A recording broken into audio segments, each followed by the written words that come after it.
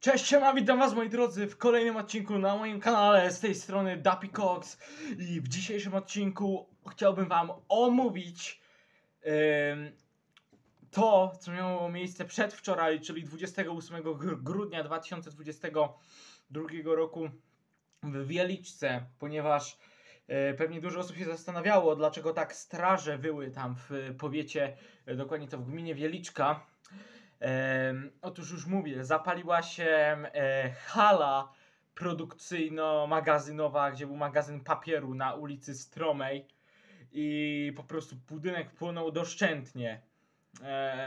O godzinie 16 tam były wezwania do e, stanowiska kierowania e, KPPSP w Wieliczce i pierwsze zastępy udały się już na miejsce i na miejscu było bardzo dużo e, zastępów, e, ponieważ na miejscu były tak JRG PSP Wieliczka, OSP Niepołomice, OSP Wola Batorska, OSP Chorągwica, OSP Grajów, mm, OSP Wieliczka Krzyżkowice, OSP Podstolice,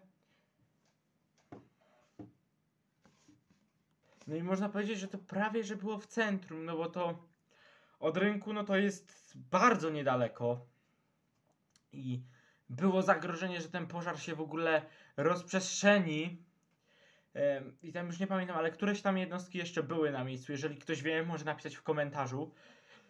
I naprawdę pożar był duży, naprawdę. Za chwilę wam pokażę zdjęcia stamtąd.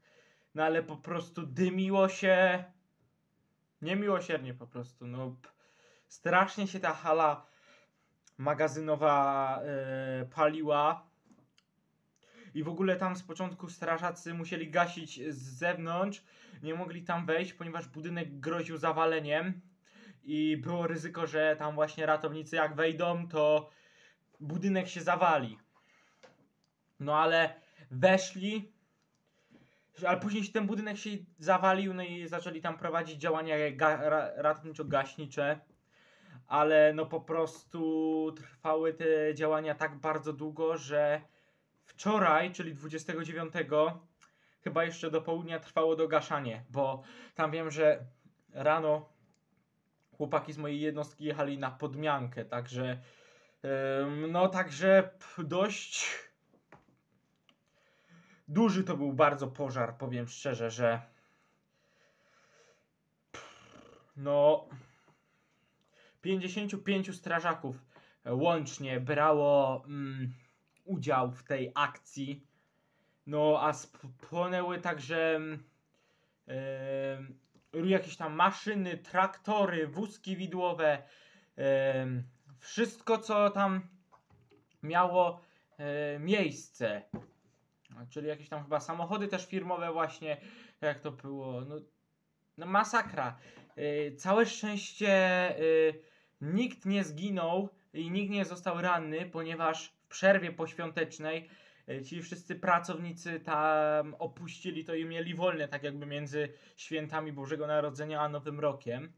Także to jest yy, jedyna chyba pozytywna wiadomość, że no, całe szczęście nic się nikomu nie stało albowiem pisze, że no, tam ta rodzina, co była właścicielami tego, że stracili podobno majątek swój życia, no bo tam pisze, że yy, po, straty są warte miliony, że jeszcze te nie jest oszacowane na ile, ale naprawdę miliony jest to, y, są oszacowane te straty.